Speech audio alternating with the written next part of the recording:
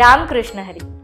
भारताच्या इतिहासात कदाचित प्रथमच महाराष्ट्राच्या संतभूमीतून निघणारा भजन कीर्तनाचा आवाज देवभूमी उत्तराखंडमध्ये सर्वत्र निनादताना दिसला. याचं औचित्य होतं सरस्वती नदीच्या उगमस्थानी माणा गावात बांधलेल्या विद्येची देवता असलेल्या सरस्वती मंदिराच्या उद्घाटनाचं. या अद्वितीय मंदिराची संकल्पना विश्वधर्मी प्राध्यापक डॉक्टर विश्वनाथ दा कराड सरांची. सन दोन हजार नऊमध्ये केलेल्या या संकल्पाची पूर्ती सन दोन हजार एकवीसमध्ये झाली. या सरस्वती ज्ञान विज्ञान मंदिराचा उद्घाटन सोहळा सुमारे सात दिवस चालला ज्यामध्ये सुप्रसिद्ध कीर्तनकार व्याख्याते यांनी भारतीय प्राचीन ज्ञान परंपरा लोकांपर्यंत कीर्तन आणि प्रवचनांच्या माध्यमातून पोचवली. विश्वधर्मी प्राध्यापक डॉक्टर विश्वनाथ दा कराड सरांच्या संकल्पनेतून साकारलेला हा विशेष कार्यक्रम संतभूमी ते देवभूमीपर्यंतचा हा सोहळा आपण विश्वशांती दर्शन या यूट्यूब चॅनलवर पाहणार आहात. मनुष्य जन्मात संयम हा खूप महत्त्वाचा. संयम ठेवल्यानं शारीरिक आणि पारमार्थिक प्रगती होते. वाईट काळ हा परीक्षा पाहणारा असतो. अशाच वेळी संयम खूप महत्त्वाचा. तो जर नसेल तर अनेक विकार जडतात म्हणूनच समर्थ म्हणतात संत गुंतले ते उकलाने तैसे मन खुलवावे. भाग्यास काय उणेरे संयमा वाचून राहिले. संयमाचं महत्त्व सांगणाऱ्या आजच्या भागात पाहूयात हरिभक्त परायण नारायण महाराज पिंपरीकर यांचे निरूपण.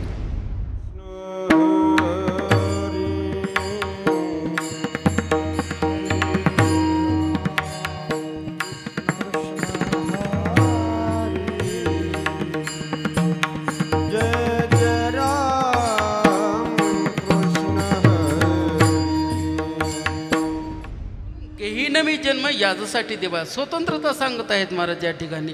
संत हे स्वतंत्र आहेत. संत या ठिकाणी प्रतिज्ञा करत आहेत. प्रतिज्ञा कोणालाही करता येते.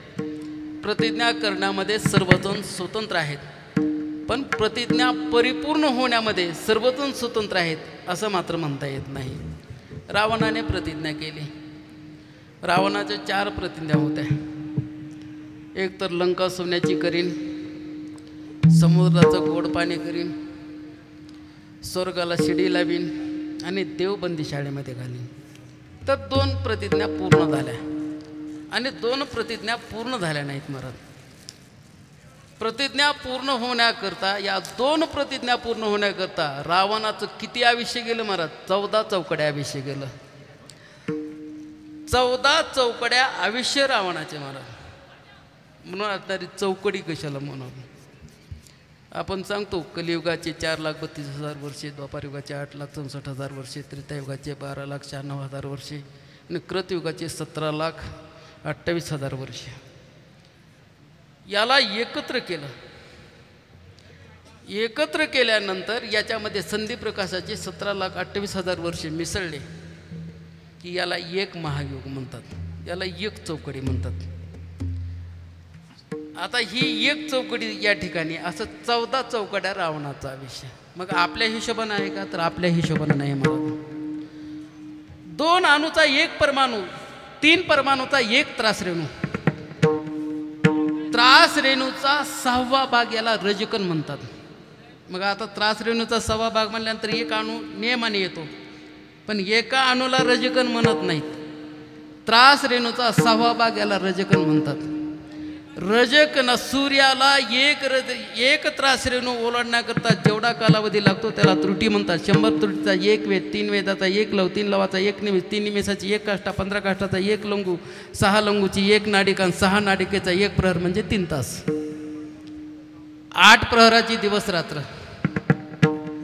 सात दिवसाचा आठवडा दोन आठवड्याचा एक पक्ष दोन पक्षाचा एक महिना सहा महिन्याचं एक आयन दोन आयनाचं एक वर्ष. आपलं ज्या वेळेला एक वर्ष होतं त्यावेळेला आपल्या पितरांचे बारा दिवस होतात आणि देवांचा एक दिवस होतो त्याला दिव्य दिवस म्हणतात या दिव्य दिवसाच्या गणिताप्रमाणे रावणाचं चौदा चौकड्या विषय विठ्ठल विठाला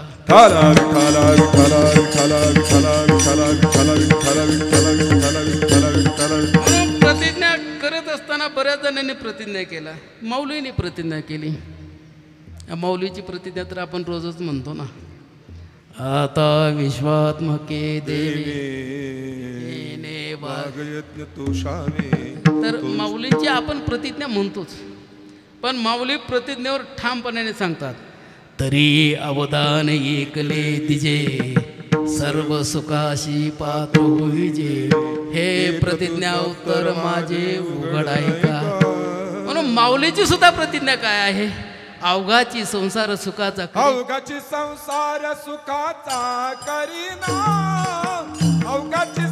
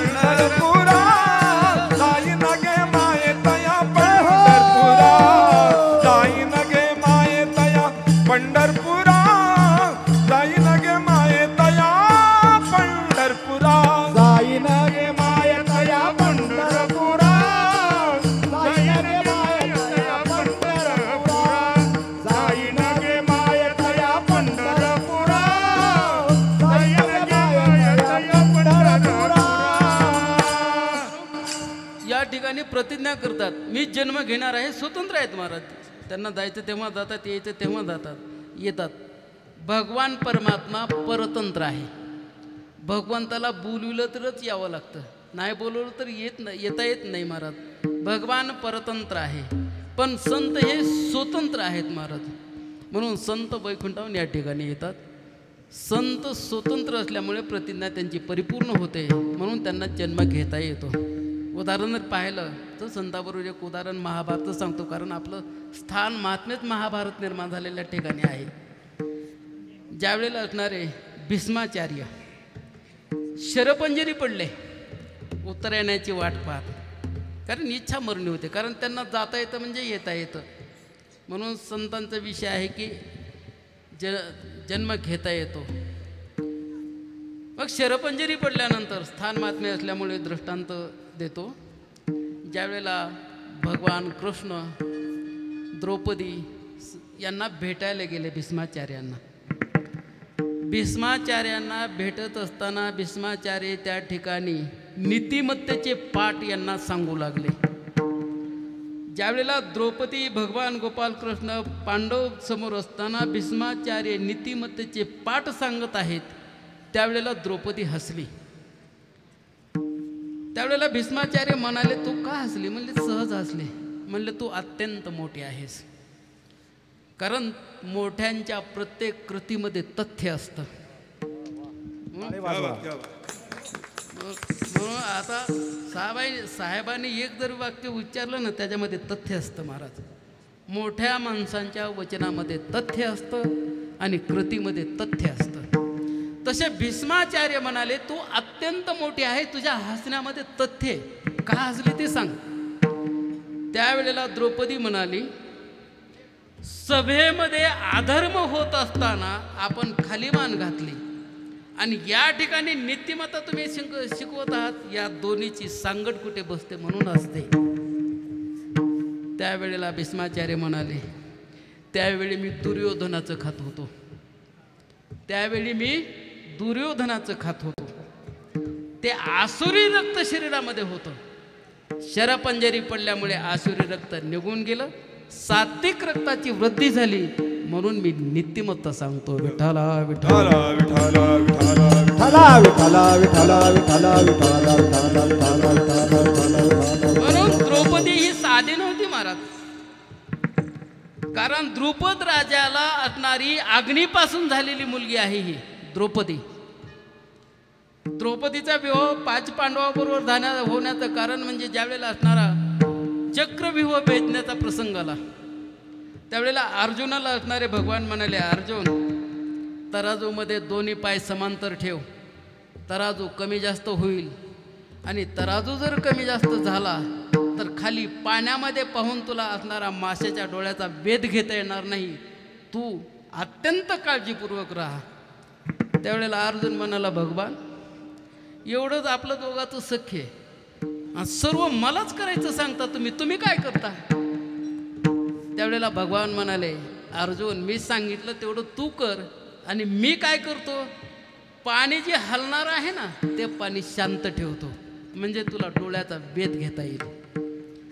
मग माशाचा डोळ्याचा वेध घेतला चक्रव्यूहामधून बाहेर पडले. द्रौपदीला जिंकलं. आणि आल्यानंतर द्रौपदीचा असणारा विवाह पांडवाशी झाला. का आईचं वचन होतं? की आलेली भिक्षा ही पाचही जणांनी घ्यायची. आईचं वचन पाळलं. तसं कराड साहेबांनी आपली असणारी माते समान भगिनी पूर्ण ब्रह्मयोगिनी त्यागमूर्ती महान तपस्वी प्रयाग का कराड यांचं वचन पाळलं. की वारकऱ्यासाठी काहीतरी कर. कारण कारण आई किती श्रेष्ठ आहे? सर्वामध्ये विश्वामध्ये तर आईचं श्रेष्ठत्वच आहे.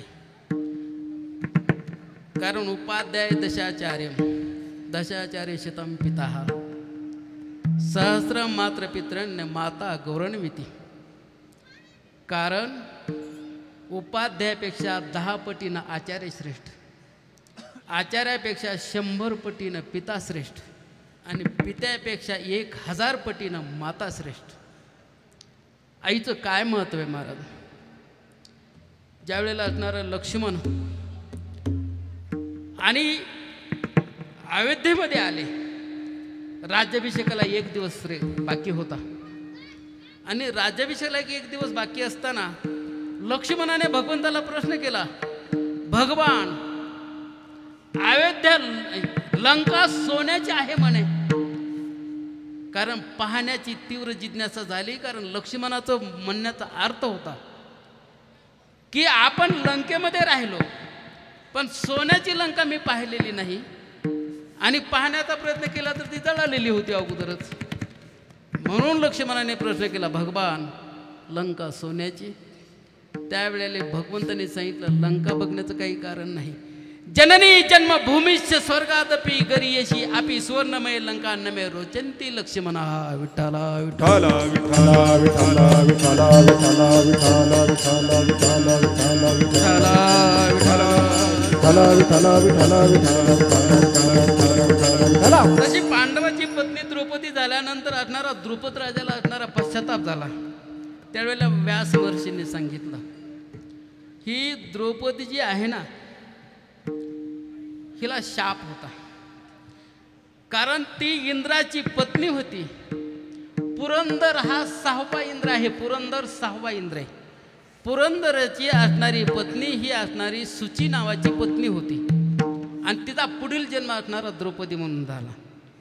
आणि तिचा शाप पाचपतीबरोबर विवाह आहे. म्हणून विवाह कारण ही पाचवी पांडव पूर्वीचे इंद्र होते विठ्ठला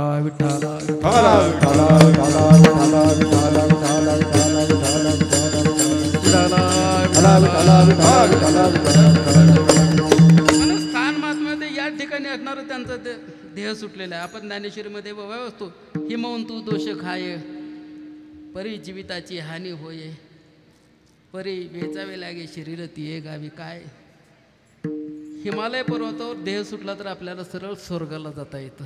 स्वर्गामध्ये पदार्पण होतं. तसे असणारे पाची पांडव सहावी द्रौपदी यांचंही असणारं स्वर्गाला या ठिकाणाहून गेले.